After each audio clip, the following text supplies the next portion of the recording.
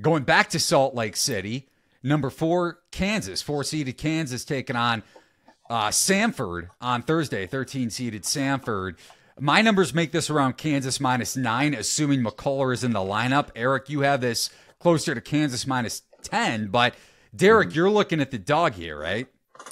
Yeah, I am. And, you know, so many people are looking to fade Kansas in the tournament. Uh, you know, when I first open up a sportsbook app, I looked and I saw a nine and a half and I went to shop it. And then I went back to that sportsbook and the nine and a half was gone. It was down to eight and a half already. So I just grabbed the eight and a half while I could.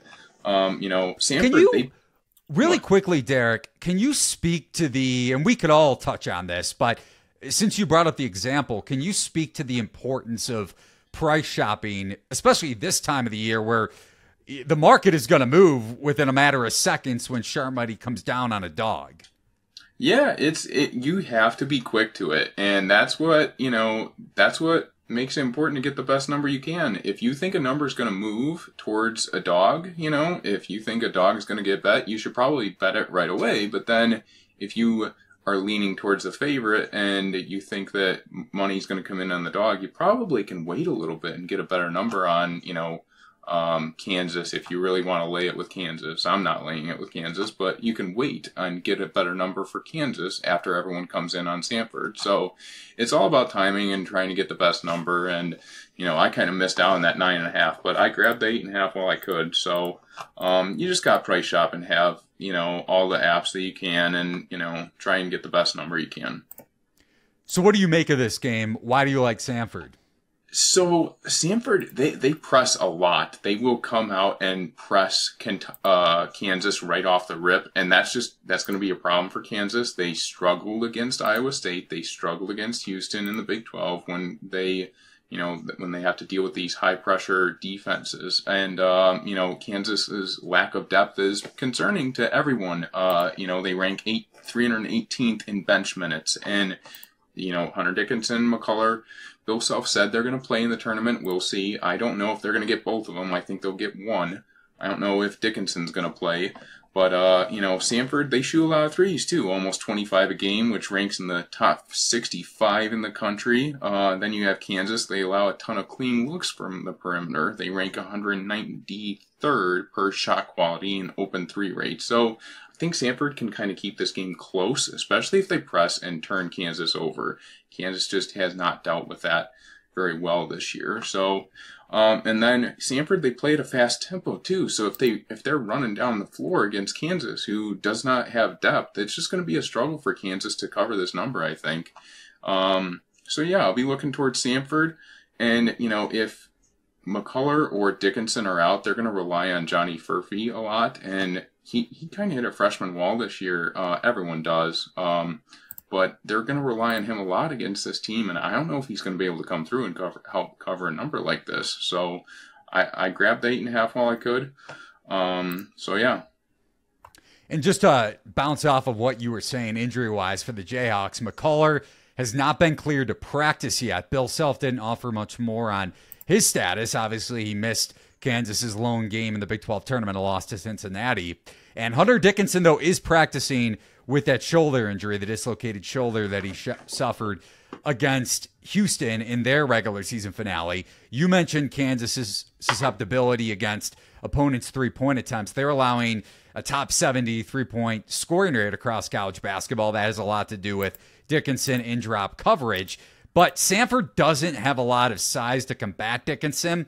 And then you mentioned Samford and their press against Kansas. I think Harris's ball pressure could be a little bit of an issue for Rylan Jones, who is experienced at the Division One level. He played at Utah before he transferred to Samford, but still 17% turnover rate. I don't love that against Harris. I don't hate the bet. I just would maybe need a point, point and a half more to take Samford. This is maybe an example of a line to me that isn't what it would have been five or 10 years ago. But I don't blame you for taking Samford, especially if McCullar doesn't go. Eric, what do you make of this game, the final one we discuss on Thursday?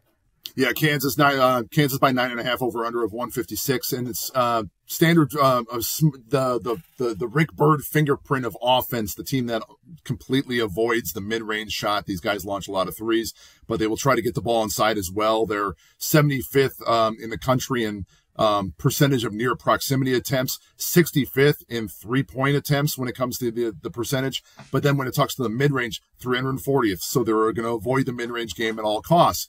Um, as we mentioned, Samford will run. I have them ninth in the country in pace. They make a ton of threes. They're 19th in the country in adjusted three point percentage. We talked about the turnovers, 14th in the country in potential points off of sec, uh, off of steals. But the problem is again is going to be the size issue. Very few second chance. The second chance, second chances, the second chance metrics do not reflect well. So those shots really do have to be falling against Kansas. But in their in their favor, Kansas's defensive three point attempt rate 300th in the country. So even though they do fairly decent in defensive three point percentage, the, the more glaring number is the fact that they allow so many threes against the opposition. They're going to have to change their philosophy a little bit against this team. And we've seen sometimes these bigger teams like Kansas all of a sudden play the smaller, quicker teams and have a boatload of trouble with it. I always think back to UMBC and Virginia. Virginia was not terribly huge, but that young, quicker team, those teams that come out of a team like the so the SoCon can really give problems for a team like Kansas. So Kansas might have to change their strategy a little bit here, and that might not reap dividends. Derek, by the way, did you throw this Samford bet into our Discord channel yet? Uh, I may have forgotten to. Uh, you know, I should probably do that. Uh, you know, there's still seven and a halfs out there.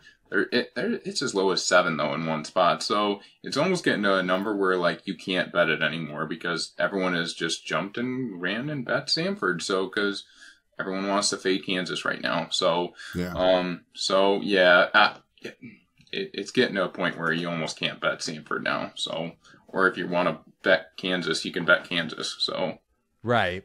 The only reason why I brought that up was not to call you out, was just to say that if you want to find our bets first round wise for the NCAA tournament, you could do so in our Discord channel. The link is over at thelines.com in the top right hand corner. Derek has, you know, he's one of the sharper betters I know when it comes to college basketball, and he's going to be throwing all of his bets when they are the number he likes in our Discord channel, of course, over at thelines.com. And you can compare them to Eric's projected numbers over at Haslametrics.com, along with all, all the other tools that he mentioned off the top.